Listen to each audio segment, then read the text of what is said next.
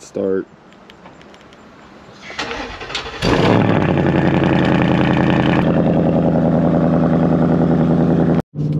Well guys, I've got some bad news and I got some good news. The bad news is I sold both dark horses and this is my auto that I'm driving for the very last time. I'm just taking it to the shop and I'm gonna do an oil change on it and install the Whipple open air boxes.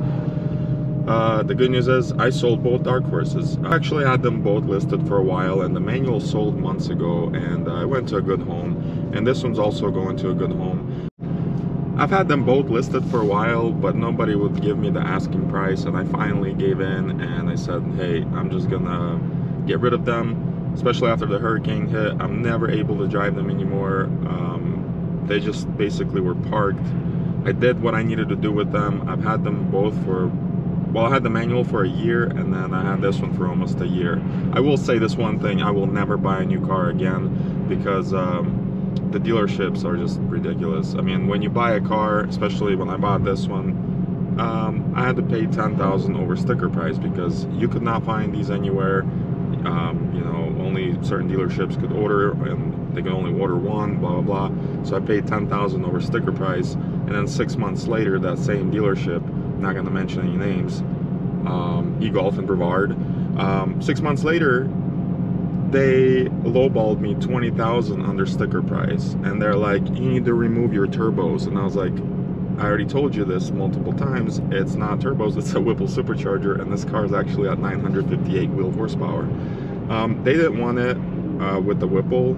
Obviously they want to keep you know the warranty especially this is a stage 2 and it's turned up to the max so they did want me to uh, take the Whipple off, but I was not gonna lose $30,000 on each car. So um, I'm actually still losing about 40 grand on both cars. That's not including the Whipple superchargers. That's just the car itself.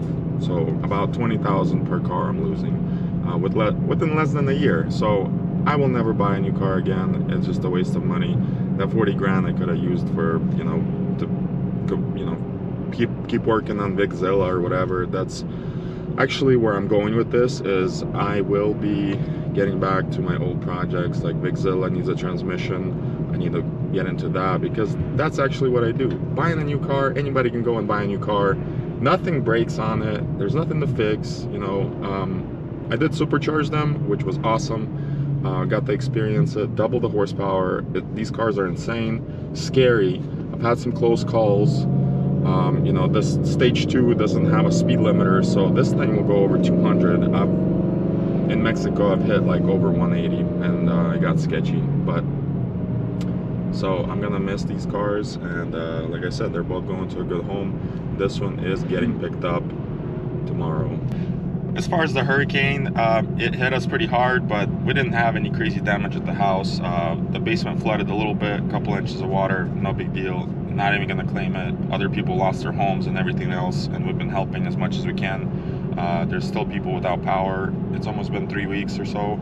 Um, people still without power and water and stuff like that. People are still trapped, and right now, tonight, like last night was like 30 degrees outside, and people are sleeping in tents. It's insane. I've, I never thought I would see this in my life.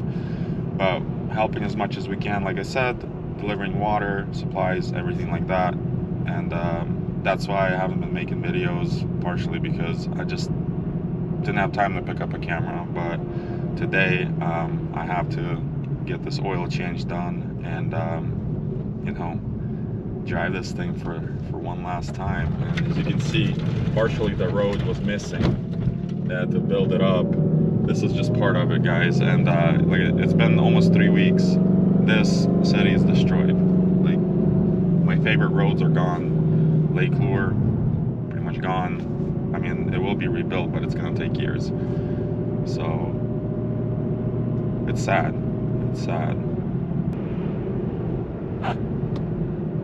I am sort of looking for uh, the dark horses or even GTs on the auctions because that's what I like to do. I like to buy a wrecked car and bring it back to life. That's actually what my channel is kind of about. So, you know, that's another reason why I had to get, let these go. Um, it will be easier without a payment for sure because uh, just the payments on the cars was like $3,000 a month plus insurance was like 500 for both a month and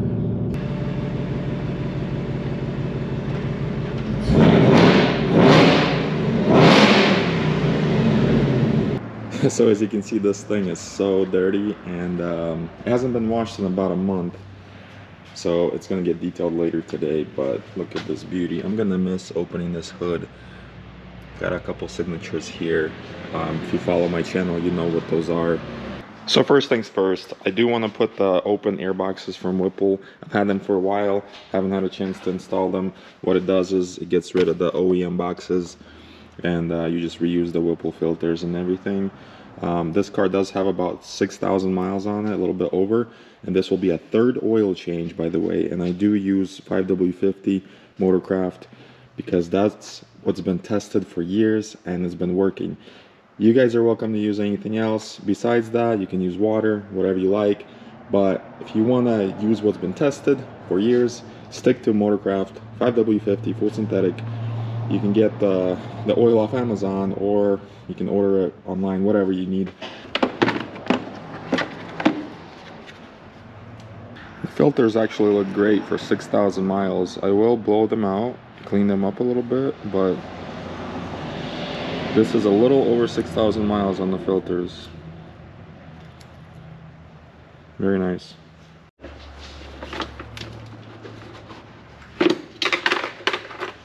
I personally like the stock airboxes better, but this is for people that are bitching about sound and they want to hear that whine a little bit, which uh, the Roush guys are like, hey, Roush whines. Yeah, because it's starving for air. It's such a small supercharger, it has no airflow and it's, the thing's begging for air.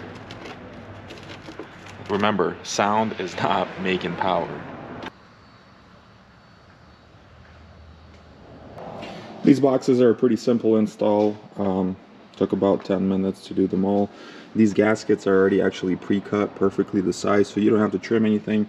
It just as easy as removing old boxes, putting the new ones in. Uh, like I said before, I like the original boxes better, but this should uh, create more sound for the people that want the sound. I'm not sure if there's any horsepower gains, but definitely it's going to get more air in there. Um, and it does seal it to the hood because of the gasket here and uh, that's pretty much it so onto the oil change and don't forget we're located in Arden North Carolina and if you need a Whipple with installation or just installation hit us up hit me up on Instagram or check out our website at mtechsolutionsinc.com and uh, we can get you the Whipple install it whether it's a Ford Dodge Chevy if it's available from Whipple we can get it pretty quick and installation takes about one day sometimes two days.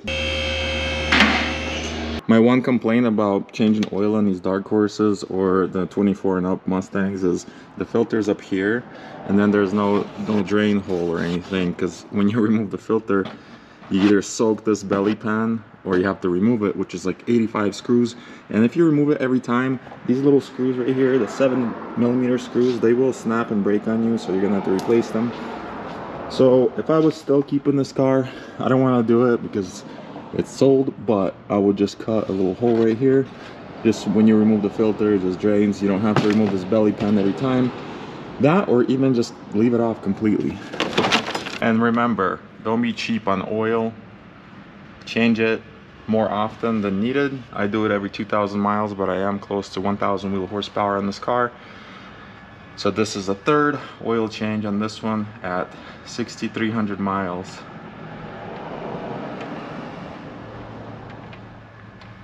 A lot of people say in the comments that I'm just wasting money, but always remember that oil changes are cheaper than engines. Believe me, tested it before. Everything under the car still looks great, no leaks anywhere, everything is 100% dry. Um, this thing is uh, in really good shape. But this car is completely stock besides the stage 2 Whipple and um, suspension and everything. If you upgrade the rear suspension and uh, a few other mods, you could be over a thousand wheel horsepower. And if you can hook this thing up on the track, this thing would, run like a low nine, no problem at all. A lot of people don't believe that, but this car did actually make 958 wheel horsepower with E30 mix in it. So I'm gonna miss it. This is how many screws you have to remove to get that shield off. And then there's uh, five other plastic clips that you remove, which I already installed. And now I gotta put these 84 screws. It's not 84, but it's a lot for a the 2024 and up Mustangs. They hold 10 quarts of oil. I usually get a 12 pack like this off Amazon, or you can order it from your local dealer. Usually they have it in stock. Um, and it's five again it's 5w50 motorcraft and i use the motorcraft filter as well. So that completes the oil change on this 24 dark horse. Um, i want to thank everybody that were involved in both of my dark horses the manual and the auto. They, they're both the same color same color blower. Uh, thanks to whipple. Um, also got a few signatures here that i'm leaving on uh, this is the mustang king jared from lethal performance ed badillo Badillo Engineering, Gary Patterson from Shelby, and then Ken from Palm Beach Dyno. All four of those signatures are very special to me. I wish I could keep the lid. I just don't have another lid to put on, but I'm gonna leave it. Um, I didn't get Dustin Whipple to sign it because he's on the other side of the country and uh, his signature should have been right there. Maybe one day the new owner will track down Dustin Whipple and get a signature from him.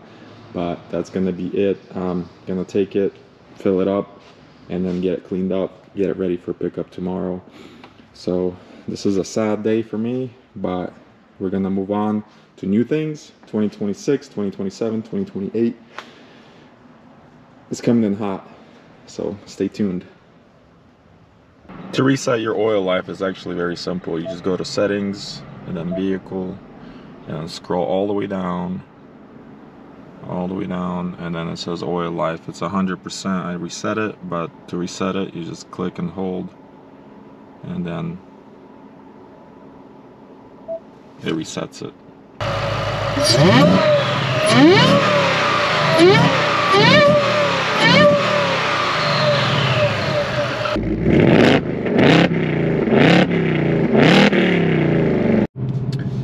Just filled it up for one last time Got a full tank. Need to get some windshield washer fluid. Uh, the air, the tire pressure light is on because I'm running Mickey Thompsons in the rear and uh, I'm running 22 psi. Um, I may put a little bit more because this thing is going on a, probably a 1500 mile road trip tomorrow. So I'm gonna fill it up. Um, I'm passing, I'm about to be passing Blue Ridge Parkway and that is closed indefinitely. I'm pretty sure. And um, it would be nice to take this thing on the Blue Ridge Parkway one time, but thanks to uh, the hurricane, uh, that's no longer a thing for us. So that sucks. But I'm gonna miss this thing so much.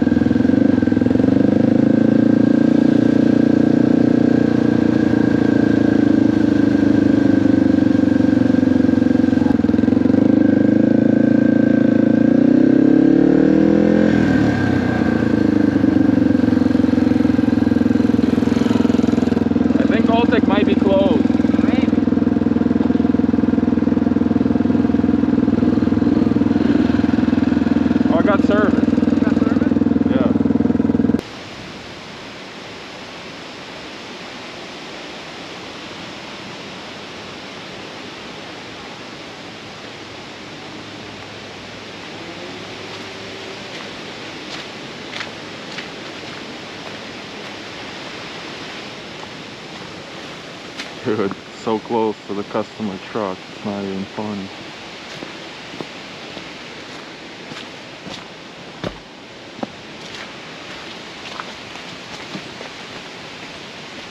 Wow, dude. think it's gonna take to get this cleared up so people can get in? Yo, my focus. Uh, probably a day Yeah. with a bunch of people. I was hoping a tree would fall on this thing. Can get the keys broken. Dang. Yo, the tree that I would always think would fall never falls. Yeah, no, me too. That's the one that creaks. Yeah. Oh, are these things damaged? Ooh. It's not good.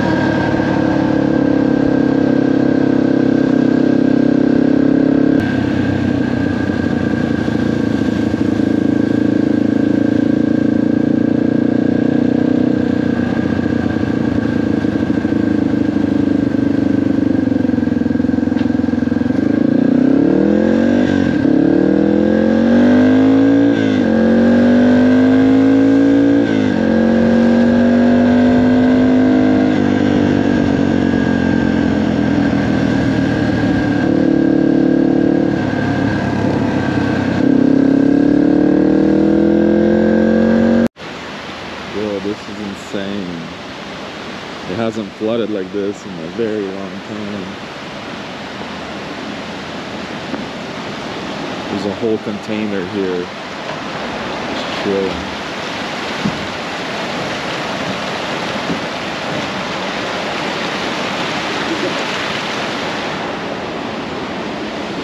Somebody was walking around here. No way. No way. Yo, that thing is moving like crazy.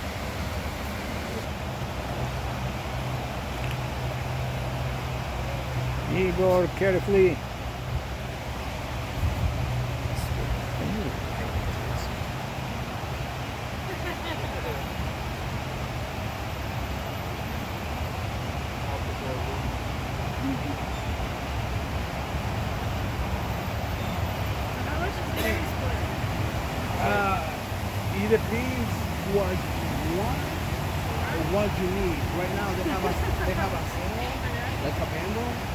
Uh, you pay for each one like sixty pounds each for the three. But it's a good sale because there are like two people. Alright, and then how much total the whole package? Uh, to sell uh, one is like twenty fifty. For labor and all that? Mm-hmm. Oh, yeah. Yeah, but how many you gonna need?